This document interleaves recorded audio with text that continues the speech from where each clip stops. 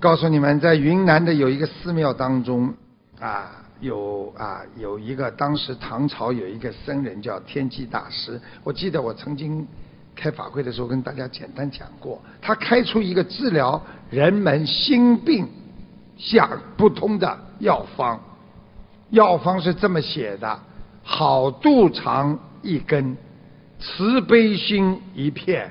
温柔半两，道理三分。信心要紧，孝顺十分，老实一个，阴阳善用，方便别人，不惧多少。药物的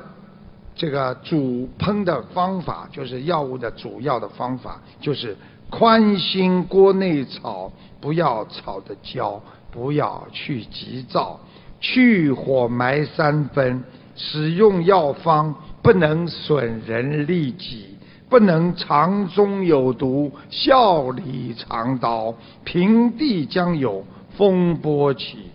这位。